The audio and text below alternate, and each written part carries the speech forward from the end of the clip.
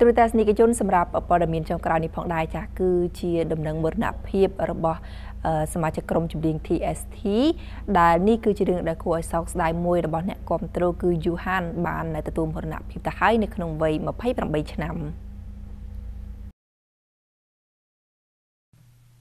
នេះគឺជារឿងដែលគួរឲ្យសោកស្ដាយមួយសម្រាប់អ្នកគ្រប់គ្រងវិស័យ K-pop ក៏ដូចជាអ្នកគ្រប់គ្រងផ្ទាល់របស់លោកយូហាន់ដែលជាសមាជិកក្រុម TST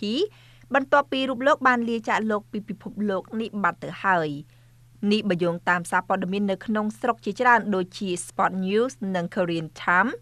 ដែលបានចេញផ្សាយការពីពេលថ្មីថ្មីកន្លងទៅថា យូហានបានស្លាប់តាំងពីថ្ងៃទី16មកម្លេះប៉ុន្តែដោយសារតែមានការស្នើសុំពីសំណាក់គ្រួសារសពទើបមិនត្រូវបានចុះផ្សាយភ្លាមភ្លាមនោះទេបន្ទាប់ពីការស្លាប់របស់លោកយូហានមិនតែប៉ុណ្ណោះមូលហេតុនៃការស្លាប់ក៏ខាងគ្រួសារសពស្នើសុំកុំឲ្យបញ្ចេញថែបទៀតផង យើងសូមឲ្យប្រព័ន្ធផ្សព្វផ្សាយជៀសវាងការផ្សព្វផ្សាយពាក្យចចាមអារាមនិងការសន្និដ្ឋានលើមូលហេតុនៃការស្លាប់របស់យូហានទាំងមិនច្បាស់លាស់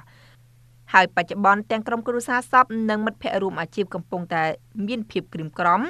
សូមជម្រាបជូនផងដែរថាសម្រាប់ខាងផលិតកម្ម KJ Music Entertainment ដែលជាផលិតកម្មដែលលោកជ្រកកោនក៏បានចេញនៅសេចក្តីថ្លែងការណ៍សម្ដែងនៃការសោកស្ដាយខ្លាំងបំផុតចំពោះការបាត់បង់សមាជិករបស់ខ្លួនបែបនេះ